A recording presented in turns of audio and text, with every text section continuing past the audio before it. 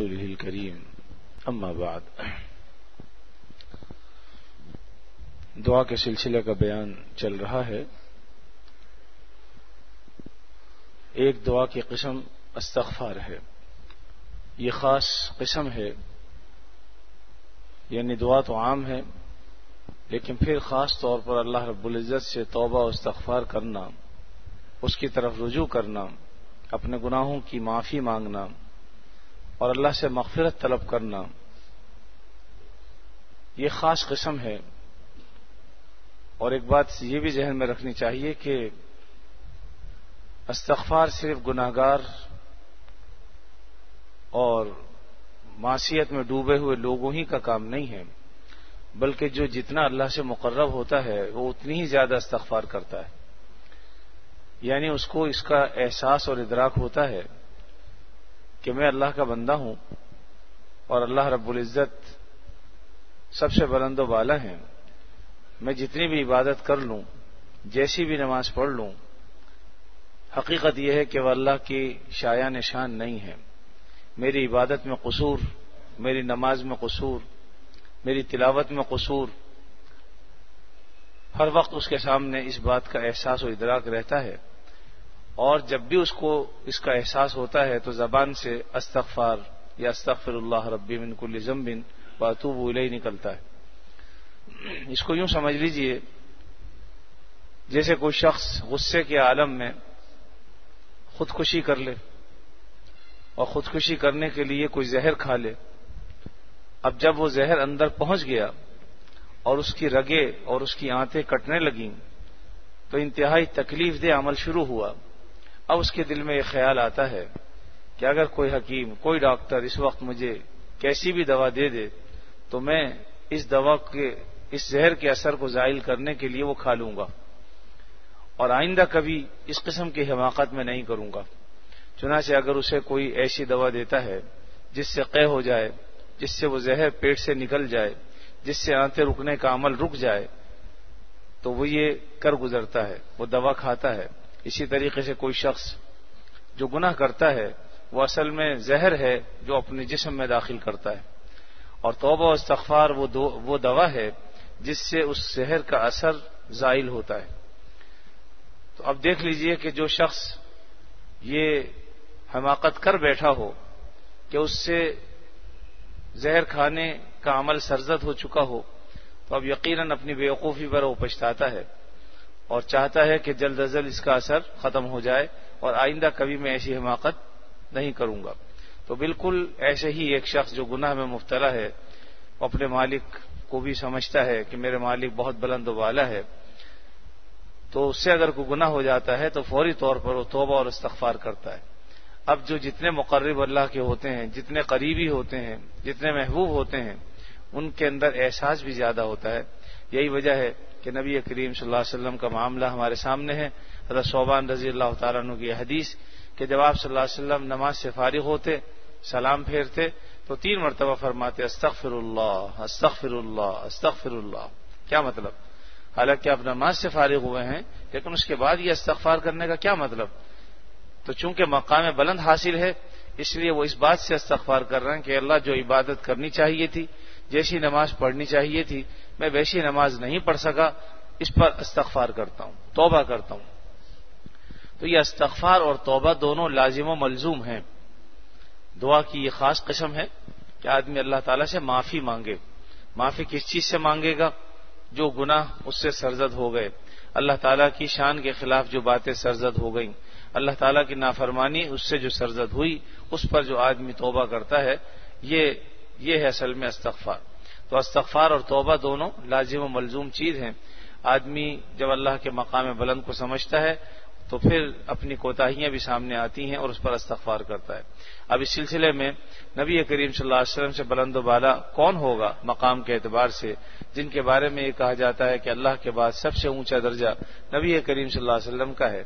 لیکن آپ کا عمل کیا ہے اس میں؟ ہم ذرا اگر غور کریں اور ان حدیث کو دیکھیں، جس میں نبی کریم صلی اللہ علیہ وسلم کے کے عمل کو خود آپ صلی اللہ علیہ وسلم نے ظاہر فرمایا، چنانچہ ایک حدیث میں آپ صلی اللہ علیہ وسلم نے فرمایا کہ اللہ کی قسم، میں دن میں ستر مرتبہ سے زیادہ استغفر اللہ ربی بن کل زمبن واتوب علیہ کہتا ہوں۔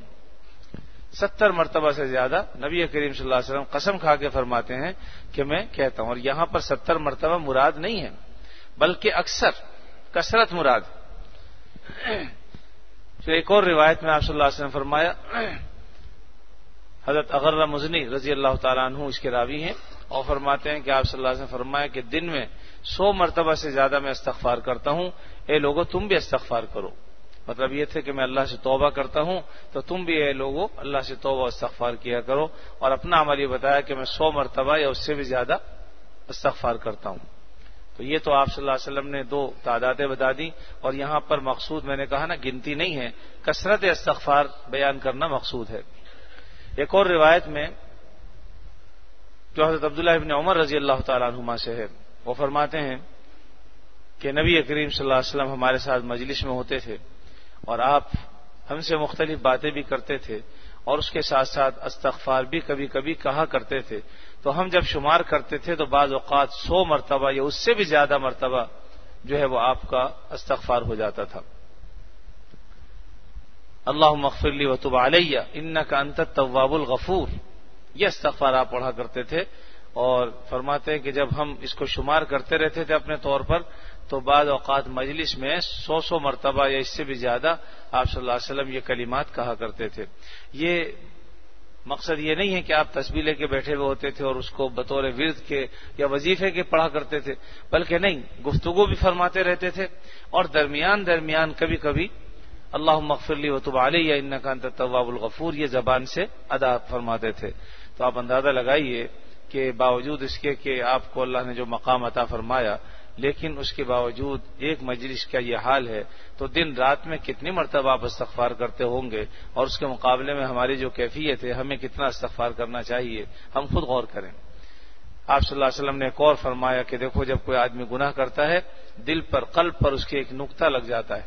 اب اگر آدمی فوراً توبہ کر لے، تو اللہ رب العزت اس نقطے کو زائل فرما دیتے ہیں اور دل اس کا بالکل صاف ہو جاتا ہے۔ لیکن اگر آدمی توبہ نہیں کرتا تو مزید نقطوں میں اضافہ ہوتا چلا جاتا ہے۔ یہاں تک کہ قلب بالکل سیاہ ہو جاتا ہے اور بعض اوقات پھر اچھائی اور برائی کی تمیز انسان کے قلب سے نکل جاتی ہے۔ ہم جو دیکھتے ہیں بعض اوقات بعض لوگوں کو کہ ان میں اچھائی برائی کی کوئی تمیز ہی نہیں ہوتی۔ انسان اور حیوان میں کوئی فرق ہی نہیں ہوتا۔ اس کی وجہ یہ ہوتی ہے ان کا قلب سیاہ ہو چکا ہوتا ہے اور اپنے قلب کی سیاہی کی بنا پر اللہ تعالیٰ ان سے جو عقل و شعور ہے وہ چھین لیتے ہیں۔ اور اس کے نتیجے میں پھر اللہ کی فرما برداری، نافرمانی، ان کے لیے کوئی حیثیت ہی نہیں رکھتی۔ اللہ تعالیٰ ایسی کیفیت سے ہمیں بچائے۔ ایک اور روایت میں آپ صلی اللہ علیہ وسلم نے فرمایا کہ کلو آدم کلو بنی آدم خطاون کہ آدم کی جتنی بھی اولاد ہے، سب کا سب خطا کرنے والے ہیں۔ یعنی کوئی ایسا نہیں ہے جس سے خطا نہ ہوتی ہو، لیکن بہترین خطا کار وہ ہیں اتوابون جو توبہ کرنے والے۔ تو خطائیں تو ہوں گی لیکن بہترین خطا کار کون ہے جو اپنی خطاؤں پر نادم ہو اور اللہ تعالیٰ سے توبہ و استغفار فوراً کر لیں، تاکہ نقد نقد حساب کر لیں اور فوراً جو ہے وہ اس کو ڈھیر نہ لگنے دیں، اپنے قلب کو سیاہ نہ ہونے دیں۔ اور ایک اور روایت میں آپ صلی اللہ علیہ وسلم فرمایا اتائب من زمبی کم اللہ زمب لہو توبہ کرنے والا، استغفار کرنے والا ایسا ہے جیسے اس نے کوئی گناہ کیا ہی نہیں۔ یعنی کتنی عجیب بات ہے کہ آدمی نافرمانیاں بھی کر رہا ہے، لیکن فوراً توبہ کرتا ہے، استغفار کرتا ہے۔ اللہ تعالیٰ اپنے فضل و کرم سے اس کے گناہوں کو معاف بھی فرما دیتے ہیں۔ تو میرے عزیز بھائی، اس وقت جو موسم چل رہا ہے، نیکیوں کا، اللہ تعالیٰ کی رحمتوں کو لوٹنے کا، یقیناً ہم سب گناہ گار ہیں خطا کار ہیں۔